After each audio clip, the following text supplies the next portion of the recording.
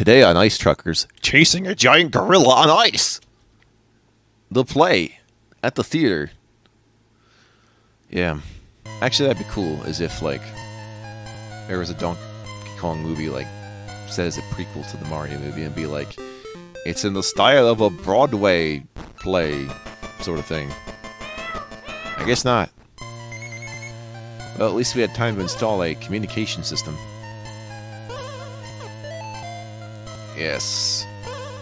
Yes, I do have to make it time so specifically in a way. Sometimes, you know, spikes can feel like they get in the way, but icicles can grow on them unabated. You know, two spikes can exist in one space in conjunction with each other, together at last. The camaraderie of insta-killing Mario is clear.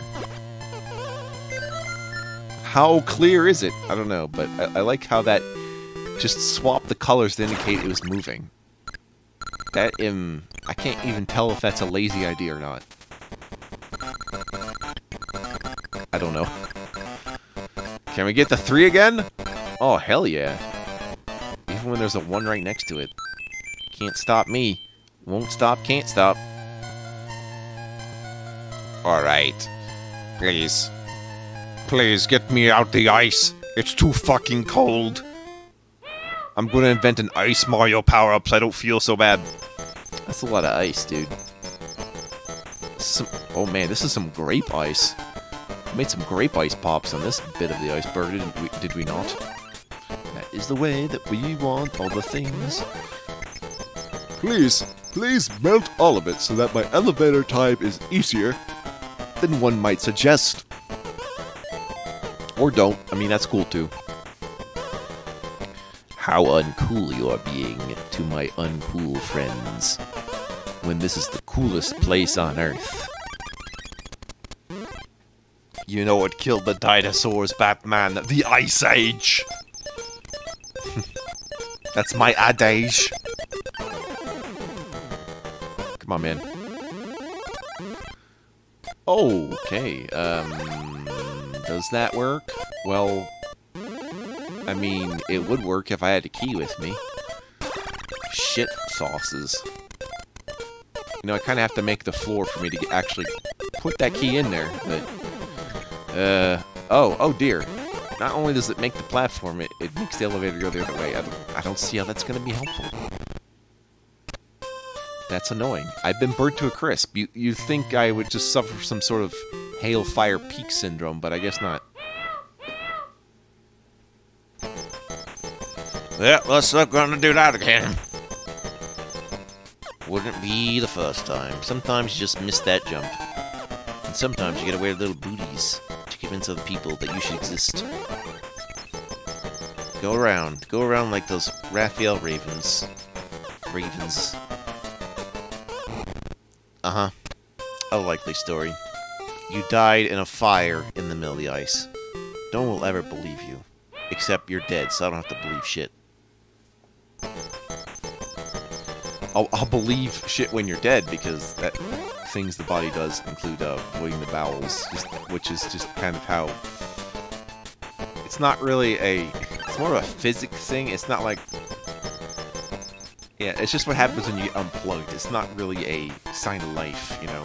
Same with the rigor mortis stuff. It just means all the shit stops. Literally and figuratively. And I, it would behoove you to have a sense of rigor for me to talk about some dude named Mortis. That's right, Morton did hear a who. And his name was Morty! Nah,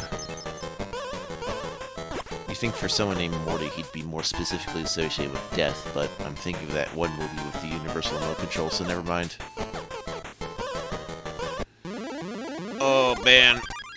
If only I could stop him. If only I could place objects outside the screen. That might be helpful. Just let me scroll up next time, bro. Oh yeah, I can't kill these things. I thought about it. I can't. Not happening today. But wait. What if there was... Alright, can I get all these items and get up there? I don't know. I, think we're gonna have to just... Oh, wait, no, okay. We can just do this again. That's fine. Alright, let's, let's take it from the other side, then? Oh, wait a minute. Ooh. It could go all the way. It does. So remember, kids, don't build your door in the middle of nothing. You know, we need some supports in order to get inside. Locked by my own hubris.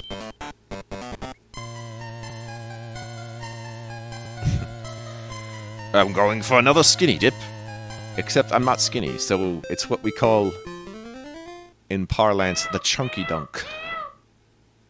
That's as exactly as interesting as it sounds.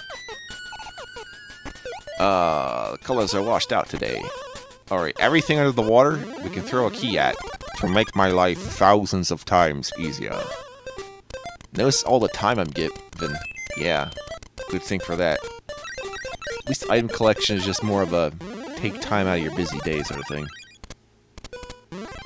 But how busy was my day? It was so busy that I didn't have time to finish that joke. Oh, well, I can't grab the ladder that way. That's a shame. But wait. Yeah, we're gonna... I'm just gonna toss the key at you. Yeah, I'm gonna have to get in there by using the ladder from the water. Or, or doing this. That works too. Yeah, okay. Well, let's go get it back and throw it against that other guy. Because I want him gone too. I want them all gone. Genocide against all sea life. There goes the genus! Genocide is basically what happens when you kill Geno. I mean, I'm not saying someone did that, but I have not seen Geno since he ever appeared. Methinks there's a conspiracy going on to hide Geno's existence from the fact that he doesn't exist. Or he just became a star and, you know, it's kind of like with the changelings in the Great Link. And so his personality is just like an aspect of the entire mesh of stars.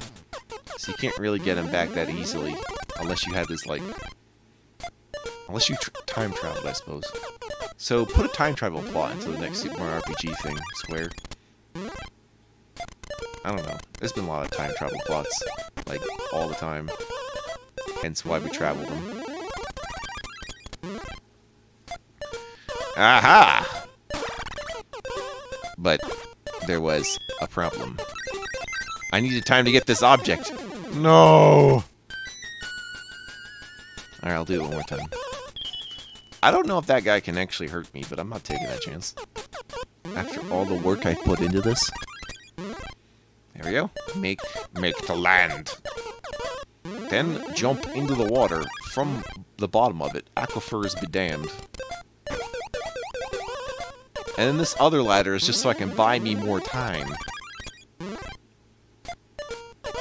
Although you could probably use it just to go up that way, but I have I have jumping powers, so don't worry about it. It's just to look interesting, maybe. Interesting look you got there.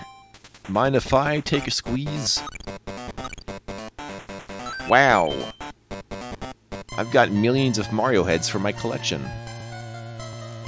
If only it was represented by a one-up mushroom instead of my damn head. Okay, um, super fast. Yep. Not really, not really leaving much to the imagination, this one. Oh well. I just noticed there's actually ice physics going on. That's usually weird because I tend to note that in these games with ice, but it just didn't come up. I can't believe it. There's nothing about this game's difficulty suggested that ice physics was going to be the problem specifically. In an ice world! Now you must travel across the endless stepping stones amongst the purple lake that lives, glistens under the purple sky. Speaking of ice wall, I'm actually cold, so I'm gonna have to fix that. well, it, it's that time of year. where you know the AC has to overcompensate. So that's just what happens. It Gets a little chilly. A trade-off I accept, though. because heating during the winter costs way more money than air conditioning during the summer. Why that is? Probably something to do with literally energy making things hot. Okay? It's physics. Ergo cash. Cash money. How do?